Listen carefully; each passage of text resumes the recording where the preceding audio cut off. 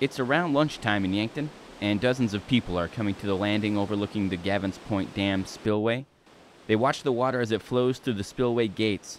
Steve Delperdang lives a mile away. I just had to see what it was like today. It's uh, quite a sight from a week ago. The white water and the power of this, I, I, I didn't expect this at all. So Todd Engel is from Omaha, but he's in town for work. He spent part of his lunch break at the dam. if anyone's been to Niagara Falls, I was there a year ago. It's kind of the same kind of uh, power as far as I, you know, uh, as far as Niagara. Since the Corps of Engineers has begun to step up the flow on the river, the spillway has become a tourist attraction in its own right. And there was a steady stream of cars, and there was uh, people directing traffic and everything. Gina Irwin has been camping in the area with her family. They've been coming down to check out the dam every day. I've never in my lifetime, and I've been here many times, ever seen it coming out like this. I've never seen these gates this wide open. It, it reminds me of a tsunami.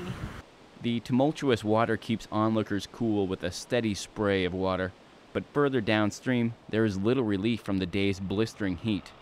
Lee Reddig with Yankton County Emergency Management says they are taking steps to make sure volunteers and workers are staying safe. Extra precautions are being taken uh, to make sure that we do what we can to help people not overheat, to take their breaks, to stay hydrated and do things like that. One of the goals in Yankton today is to stockpile 100,000 sandbags. So that if there is a change in the Corps' releases or we have a big rain event and, and that changes the way the flood or the runoff is going, that we can react quickly. Um, so we have a full two days worth of sandbags sitting on the ground waiting to be handed out. Releases at Gavins Point Dam is at 120,000 cubic feet per second.